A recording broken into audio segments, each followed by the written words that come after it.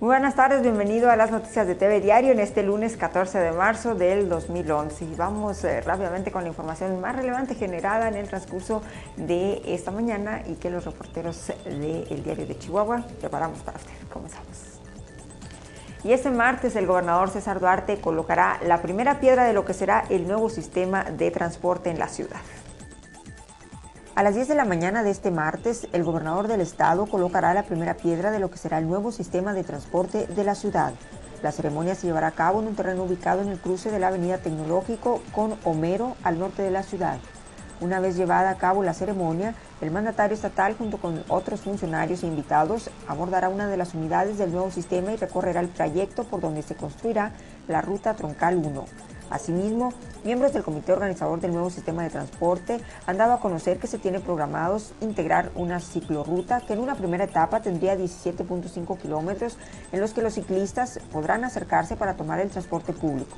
Se informó también que se contempla instalar lugares en donde los dueños de las bicicletas las puedan dejar y saber que éstas están seguras. Con ello se pretende bajar los índices de obesidad en el estado e invitar a la ciudadanía a retomar las calles y el ejercicio físico hablando del sistema de transporte, pero del actual, ¿qué opinan los ciudadanos del servicio que éste presta? ¿Cómo es el trato que los choferes dan a los usuarios? Ellos nos dicen. Unos bien y otros. Hay de todo allí. Sí. ¿Le ha tocado que vayan muy rápido? Unos sí y otros más calmados. ¿Y cómo tratan a la gente? Pues hay unos choferes muy buenos y otros sí, señorita. Muy bien. ¿Y qué le gustaría que se cambiara el transporte urbano, señor? Pues sí, era para mejorar, qué bueno, ¿verdad? ¿Qué cree usted que hace falta que cambien en los camiones? Eh, hace falta que, sean más puntuales en la, hora, porque hay veces que se tardan hasta media hora para llegar, sí, señorita. A mí me ha tocado estar media hora. En, ¿Qué ruta usted toma? Yo tomo la Villa Juárez por reloj. Ah, pues mire, yo digo, eh, hablo de, las dos, de los dos lados, También los choferes, pues pobres, están presionados con el checador el de transportes y también los usuarios no ponemos nada de nuestra parte, también debemos de echarle. Mire, ahorita con la delincuencia andan cuidándose de que no los van a robar. Y luego la gente que hacemos, pero también, y todos le echamos la culpa al que maneja. Hay que ver de los dos lados. Pues tiene como todo, ¿eh? Hay unos choferes educados, hay otros que sí tienen. Pero pues son los problemas que se tienen ahorita en la actualidad. Y todo se deriva en la desintegración familiar. ¿Sí me entiende? Y venimos con una cara que no podemos. medio histericones todos en la calle ahorita. Todos, todos, dale, luego se refleja, se refleja, nomás que pues mucha gente no piensa eso. Oye, ¿y los choferes cómo manejan? ¿Cómo los ha visto? Pues no sé cómo traerán la licencia, güey. Ay, pues algunas veces. ¿Y cómo se le hace ahorita el servicio del transporte urbano? Pues bueno. Bueno, sí, sí, me ha ido bien, gracias. ¿Sí? Los señores choferes, ¿cómo están manejando? ¿Cómo tratan al pasaje?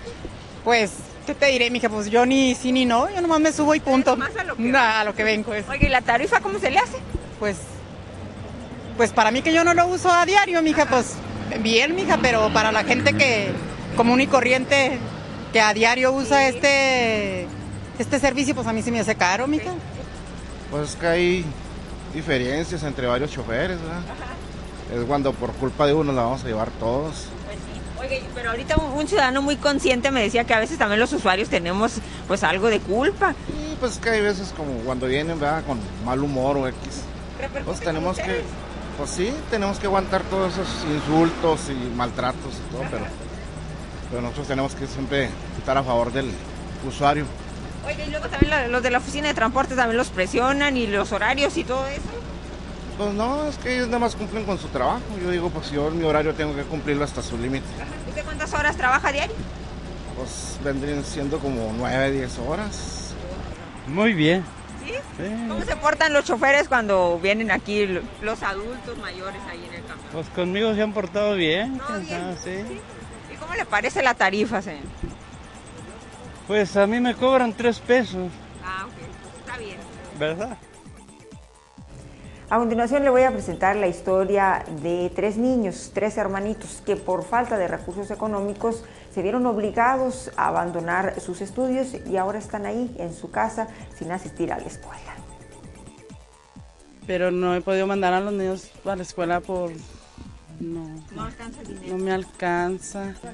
La niña la tuve hasta el grado tercero, el otro niño también hasta tercero, nada más que por que no llevaban que los zapatos, que esto, me, sí, que las inscripciones, todo eso también. Que sea alguien que me pueda ayudar, que, que venga pues a ayudarme. Ajá, ¿y qué, qué es lo que más, más, más necesitas? Ah, La escuela, ¿La escuela? ¿Y para ir a la escuela qué necesitas? los zapatos, el traje. Ajá. ¿Cuadernos? Sí, también. Tú dile ahí, necesitamos cuadernos, Necesitamos cuadernos, libros, mochilas. las, todo, trajes, zapatos. libros, colores, sacaputa, eh, libros para enseñarnos a leer, a escribir. Eh, nomás es lo que necesito de la escuela también. No sé qué decir. Nomás mm, quiero, quiero la escuela para ir a la escuela. Porque hay unas niñas que se burlan de mí. ¿Te da tristeza ver a las niñas, otras niñas que van a la escuela y tú no vas? ¿Sí?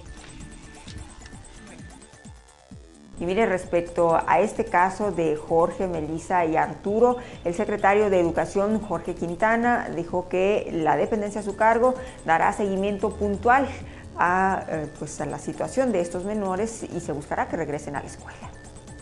Bueno, ya en el caso que salió hoy reportado, estamos mandando a una trabajadora social a hacer el estudio socioeconómico y a darles el apoyo que requieran. Hay un sistema de becas, hay este, útiles ya garantizados, etc. Entonces, pues agradecer al diario que saque el reportaje, pero hay que apoyarlos inmediatamente. De decirle a toda la comunidad que se encuentre en estas circunstancias que no deben acercarse, en notificar, en acercarse a la escuela y decir nosotros tenemos la- el contacto con la- estructura administrativa para que nos digan, hay este caso, inmediatamente resolverlo. El Departamento de Becas del Gobierno del Estado está listo ah, para apoyar. Hay otras formas de apoyarlos y bueno, lo importante es que no dejen la escuela. Bueno, quiero reiterar que no es una disposición de los maestros, es una disposición de las sociedades de padres. Pero hay que ser conscientes con sociedades de padres. No es obligatorio el pago. La escuela, eh, y lo dice muy claro la Constitución, tengo que cumplir con lo que sería la, la Constitución. Antes que nada está la ley. Y para enseñar la cultura de legalidad, pues tenemos que ser los primeros en cumplir la ley. Y no impedir, es una orden muy clara a toda la estructura. No vamos a impedir que los niños vayan a clase por no pagar colegiatura, simplemente no tienen con qué pagarla. Hay otras formas de que los padres apoyen a la escuela, a lo mejor no tienen recursos, pero sí tienen la mano de obra que nos pueden ayudar a limpiar la escuela el fin de semana, a pintar, a reparar baños. Eh, todos podemos hacer algo por la escuela y, por así decirlo, cubrir con fuerza de trabajo lo que no podemos cubrir con dinero. Cambiando de tema, renuncian los jueces del caso Rubí. El vocero del Supremo Tribunal de Justicia del Estado, René Medrano, informó que el pasado 10 de marzo este organismo recibió la renuncia con carácter irrevocable al cargo de jueces de tribunal oral por parte de Catalina Ochoa, Rafael Baudí y Netzahualcoyol Zúñiga. El Poder Judicial, por medio de la Presidencia, confirmó que la renuncia de los jueces fue aceptada mediante acuerdo del tribunal dictado el viernes pasado, mismo que quedó publicado y causó efectos a partir de este día.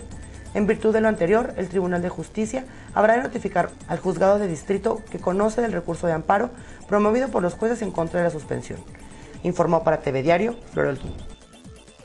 Vamos al reporte policiaco con Ángel Morales que nos tiene los detalles de la jornada de hoy lunes. El reporte policíaco de este día es el siguiente. Un hombre lesionado se reportó la mañana de este lunes al sur de la ciudad. Esto tras haber protagonizado un choque en las calles de la colonia Santa Rosa, informaron agentes de seguridad pública. El hecho se registró en el cruce de las calles Melchor Guaspe y Fuentes Mares, donde resultó lesionado el conductor de una motocicleta tras haberse impactado contra un vehículo Volkswagen Línea Golf de color gris con placas E EDZ8926. El herido fue atendido en el lugar por paramédicos de Urge.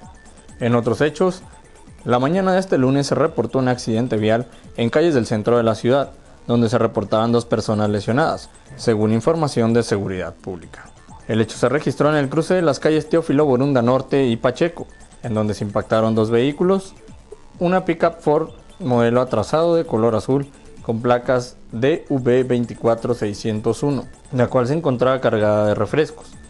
Y un automóvil Escort color gris con placas ECL3392, donde resultaron dos personas con lesiones leves. Informó para TV Diario Ángel Morales. Y este fin de semana el Instituto Chihuahuense de Educación para los Adultos llevó a cabo una jornada estatal de aplicación de exámenes diagnósticos. Este fin de semana se llevó a cabo la primera jornada estatal de exámenes diagnósticos puesta en marcha por el Instituto Chihuahuense de Educación para los Adultos. Desde temprana hora, cientos de chihuahuenses acudieron a las sedes de aplicación instaladas en los 67 municipios del estado a fin de presentar exámenes para acreditar la primaria o secundaria. Esta jornada estuvo enfocada a jóvenes y adultos mayores de 15 años quienes por alguna razón no lograron concluir su educación básica primaria o secundaria. Antonio Valdivia González, director general del ICHEA, explicó que el objetivo de esta aplicación masiva es diagnosticar en los interesados el nivel en el que se encuentran en los conocimientos de educación básica, presentándose en la jornada un alto porcentaje de personas que, con un solo examen, acreditan las materias y reciben su certificado oficial. Dijo que la movilización se realiza durante el fin de semana para no interrumpir las tareas o responsabilidades cotidianas de quienes presentan dicho examen. Y mire que con esta jornada de exámenes, eh, pues eh, muchos de los eh, que presentaron precisamente la evaluación lograron obtener su certificado de primaria y secundaria. Enhorabuena para ellos. Y en otras cosas, esta mañana de lunes se realiza un concurso de interpretación del himno nacional. Participan estudiantes de nivel primaria y secundaria. tenemos como, como primer término el rescate de los de los valores que siempre, siempre lo estamos manejando. Eh, estamos trabajando con nivel eh, básico, es eh, primaria en este, en este caso y secundaria. Estamos hablando de un de una cantidad de cerca de mil niños. Y zona centro del estado y la zona 14 que viene de la, de la frontera de Ojinaga, Chihuahua. Es muy activa son niños y, nosotros pues estamos respaldándole todas esas inquietudes. Eh, esta es etapa ya de zonas. Eh, es una etapa regional, para ello tuvieron que haber participado todas las escuelas en el estado, ¿verdad? Y, pues bueno, la, sinergia que ahorita traemos con los niños pues es muy buena es muy buena la participación, bueno, todas las autoridades, las eh, escolares, ¿verdad? Este, que sin duda alguna respaldan el, el, proyecto de la Secretaría y pues estamos trabajando en ello para ellos, sobre todo para los niños. Hasta aquí la información de este inicio de semana. Gracias como siempre por su atención y compañía. Lo espero mañana martes en punto de las 15 horas. Que no se le olvide, tiene una cita con nosotros aquí en TV Diario.